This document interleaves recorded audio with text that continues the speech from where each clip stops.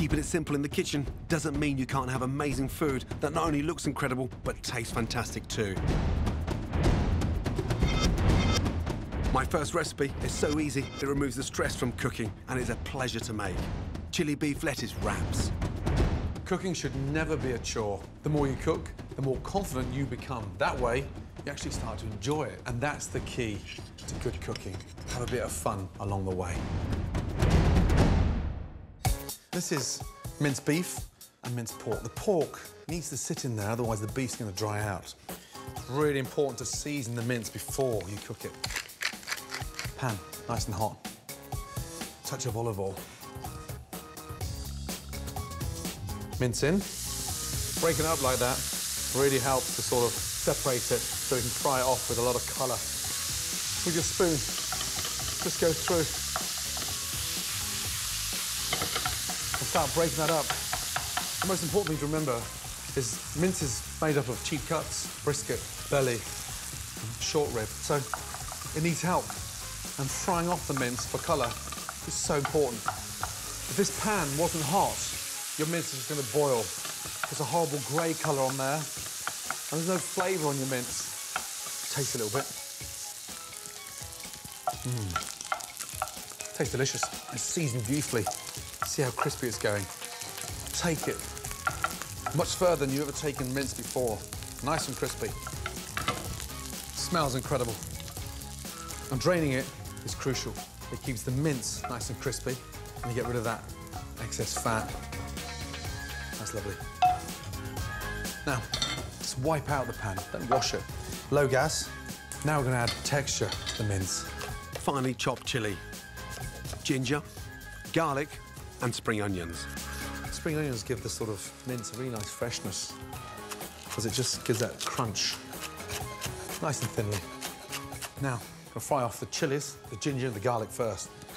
Sesame seed oil, teaspoon only in.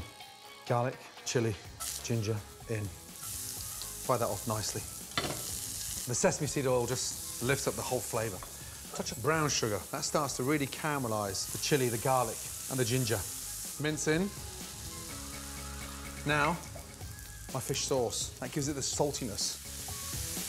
You can see now why it was so important to get that mince really crispy because nothing's going soggy, it's staying really crispy. Fresh lime. That makes the mince fragrant. And then lime juice. Roll it. And squeeze that in there. Incredible. I've got the salty, I've got the heat, I've got the sweetness, now I've got the acidicness as well. And then finally, my spring onions in. Right at the last minute, so I've got crunch in there as well. Smells amazing. Literally cook the mince now with sort of 30 seconds to go. Gas off and take it out. Looks incredible. Smells so inviting. To go with the chili beef, I'm making a simple sweet and spicy dipping sauce so everyone can dress the crispy mince to their own taste. Dipping sauce, a little teaspoon of the brown sugar, soy sauce. Gives it that nice sort of dark, rich colour. Sesame seed oil, a tablespoon, and just top that up with a tablespoon of olive oil. That stops the sesame seed oil becoming too rich. A teaspoon of fish sauce, and then a touch of chili. We leave the seeds in again. I want the heat in that sauce. So impressive, an amazing show-off centerpiece. Lime juice in, and the coriander. Chop it through once. Give that little mix up. Just check the seasoning. Mm, that's lovely. Nice and rich. Now the lettuce. I'm gonna use baby gem because it's really nice and durable and sort of quite strong. So you just sort of sit these nice trimmed lettuce leaves around. Now, the exciting part, serve. Take your lettuce up, spoon in your mince, and then a little touch of dressing. Just a little drizzle. Nice. And that's the secret of having good, easy, relaxed food is that you just help yourself. Food that looks and tastes a million bucks doesn't have to be complex. This dish is as fun to cook as it is to eat.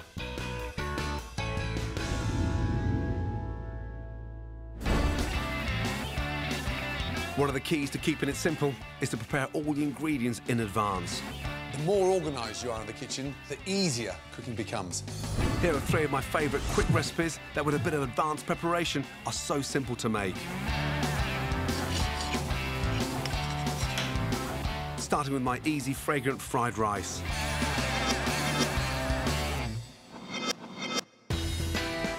First, get prepped. Chop garlic, ginger and chilli, keeping the seeds for extra kick.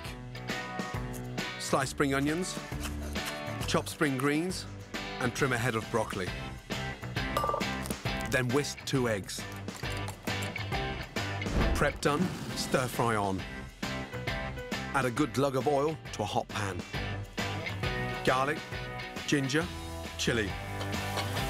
Next, the spring greens and broccoli. Add water to steam. Then cook rice. This dish is perfect for using leftover rice. Make a well. Add the eggs, spring onions, and a dash of fish sauce. Scramble, then mix. Season.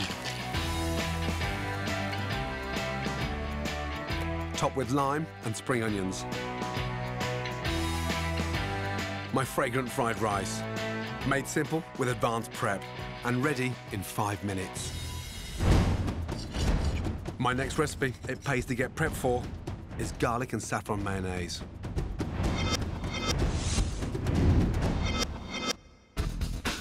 First, get your ingredients to hand. Eggs should be out of the fridge and at room temperature. Soak saffron in warm water. Saffron is the most expensive spice in the world, made from the dried stigma of crocus flowers. But even a pinch gives a fantastic taste and a wonderful colour. Next, separate three eggs. Put the yolks into a mixing bowl. Add Dijon mustard, finely chopped garlic, the drained saffron, and a squeeze of lemon. Then mix. Whisking constantly, add oil slowly. It won't take forever. For perfect flavour, use half olive oil and half vegetable oil. When the mayonnaise comes together, season. A smooth, thick consistency means it's done. Top with saffron. Rich, delicious and perfect with everything from seafood to sandwiches and chips. My second recipe, garlic and saffron mayonnaise. Easy to get right as long as you've planned ahead. My final dish, that's a cinch to cook with a little advanced prep work, is mussels with celery and chilli. First, prep the veg, chop spring onions, shallots, a clove of garlic, and chilli to taste. Then thinly sliced celery, add a bay leaf and thyme, veg ready. Add oil to a pan and fry. Season, then add mussels and stir. Mussels are one of my favourite shellfish, cheap, healthy and delicious. Cover and steam for a couple of minutes. As the mussels open, add vermouth and aromatic fortified wine. And 150 ml of dry white wine. On a high heat, reduce the liquid to create a sauce. Discard any mussels that are still shut. Then finish with creme fraiche and chopped parsley.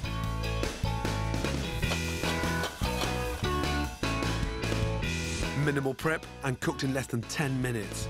My mussels with celery and chilli. Impressive, affordable and super speedy. Make it simple in the kitchen by prepping your ingredients in advance, and I promise you'll find these three recipes a pleasure to make. Amazing.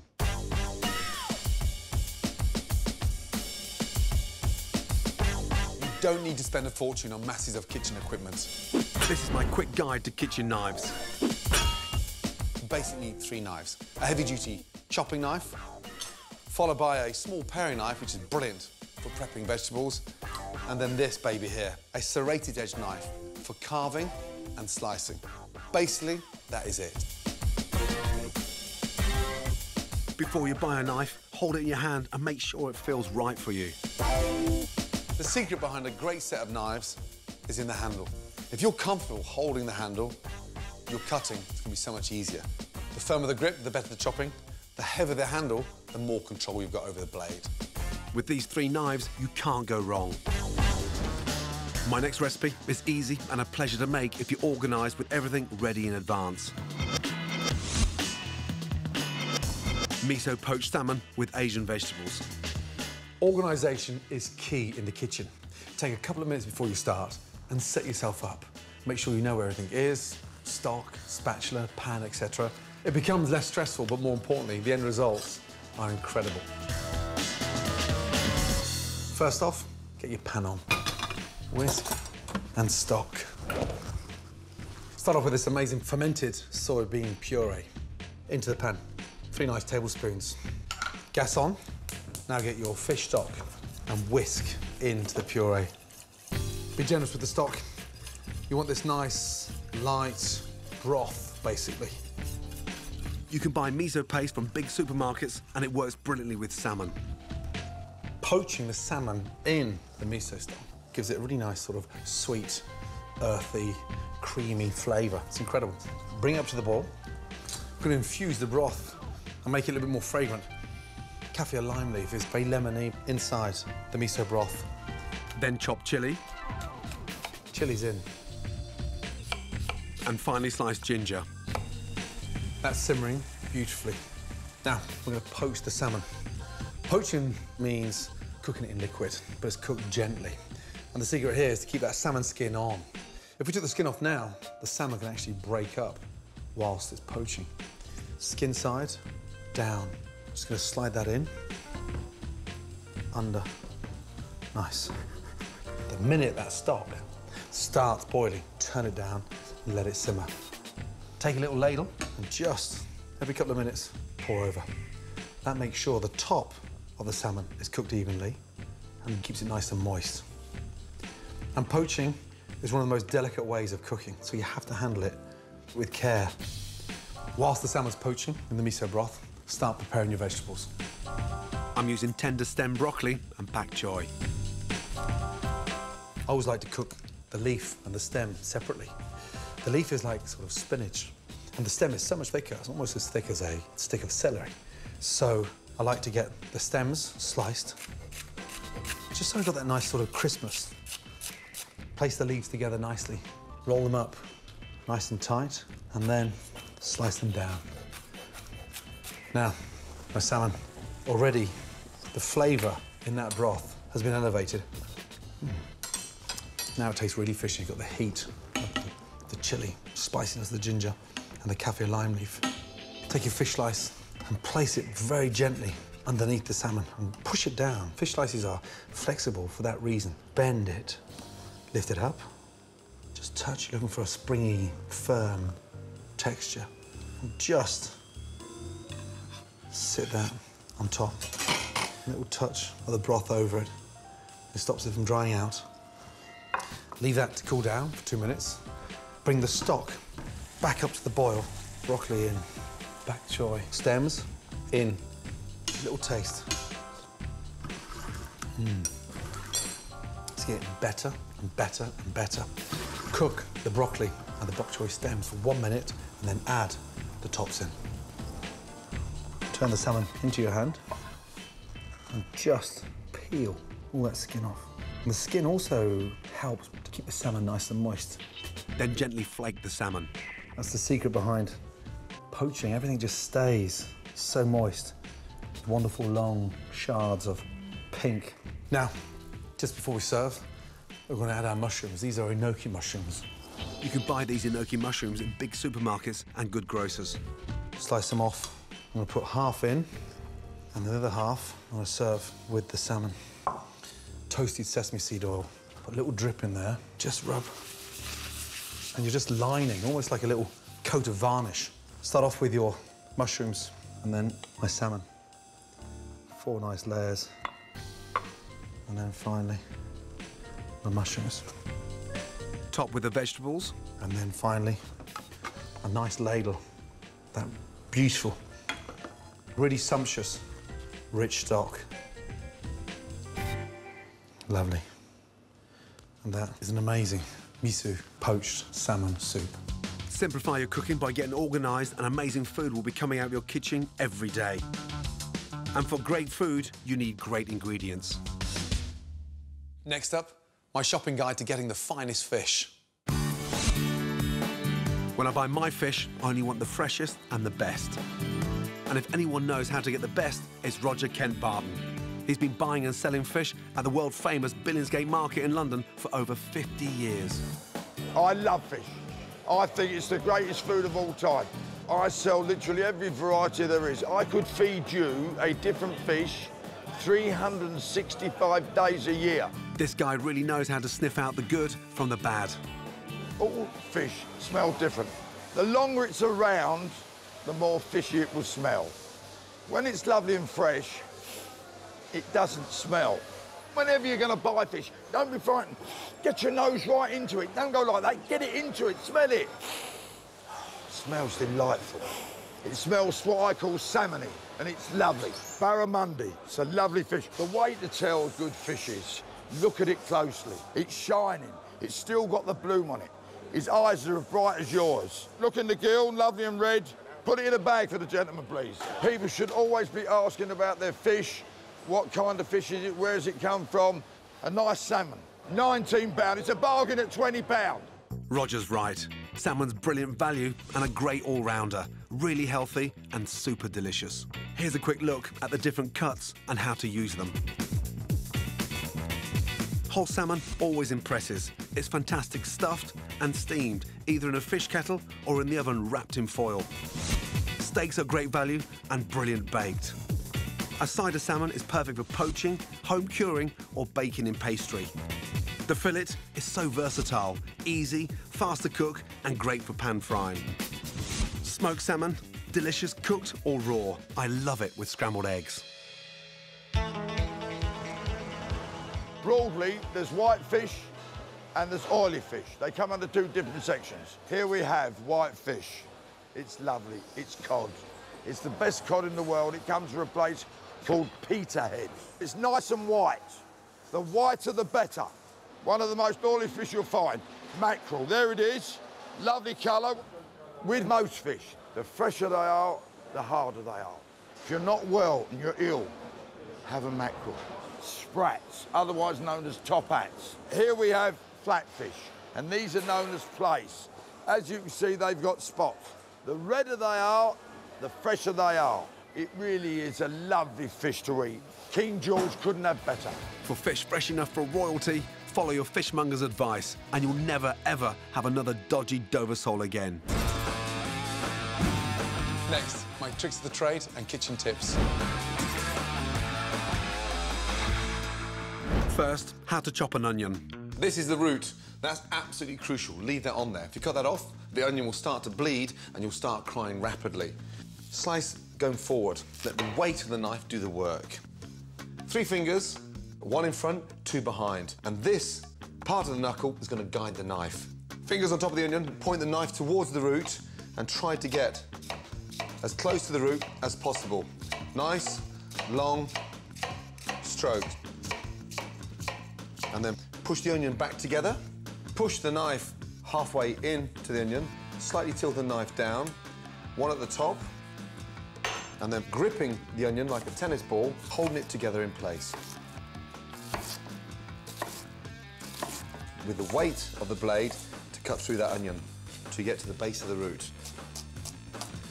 Again, turn it round, up and down motion. And that's what we're left there. No waste, just the root. And look, there, you've got a really nice, finely chopped onion. So much great cooking depends on starting with a high enough heat.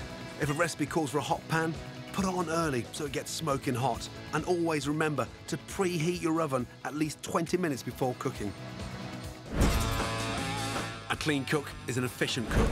My tip for a tidy cooking area is to always have a waste bowl next to you. It saves you going back and forth to the bin.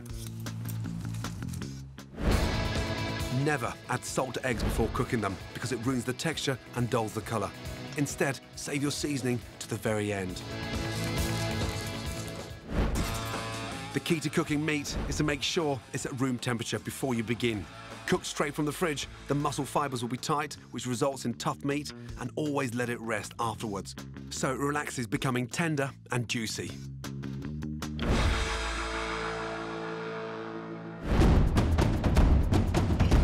Follow my ultimate cookery course, crammed with key lessons.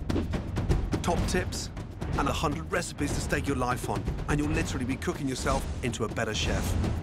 Many of these amazing recipes are on my app. Please check out the App Store for details. Go on, get cooking.